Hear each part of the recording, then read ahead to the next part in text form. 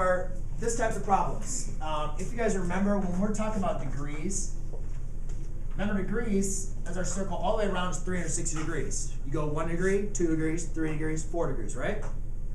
Right? Yes. Now remember when you guys, um, when you guys learn measurement, like feet, you learn like one foot, two feet, three feet, right?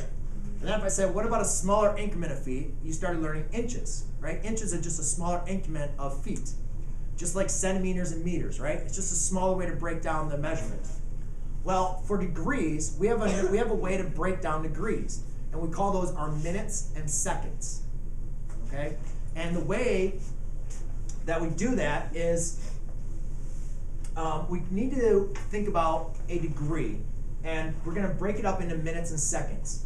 And what this question asks is write this in decimal form of your degree. So I want a degree that's actually going to give me a decimal. Right now, what this reads is 330 degrees and 25 seconds. Well, when right an angle, there's a degree, you have your minutes, which we don't have in this problem, and your seconds. So here's how you're going to do that. Think of degrees as an hour, okay? Just in terms of a measurement, think of it as an hour. If I think of minutes, how many minutes are in an hour? 60. So when we're going to write a number like this in decimal form, we have 330 degrees, we have zero minutes, but if we did have minutes, you'd write it over 60, right? Because there's 60 minutes in one hour. Thinking like an hour is the same as like a degree.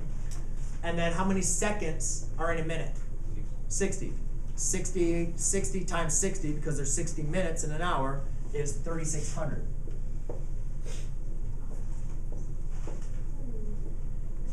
All right, now this problem, we represent minutes with the one apostrophe and seconds with two. Okay? So in this problem, you guys notice we don't have any minutes, right? But we have 25 seconds. So all you're gonna do is you're gonna take your calculator,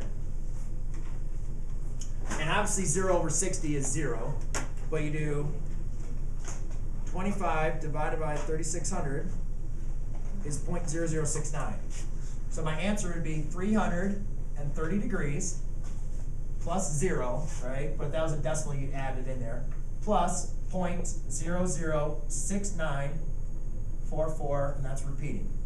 So then you just add 330.006944 degrees.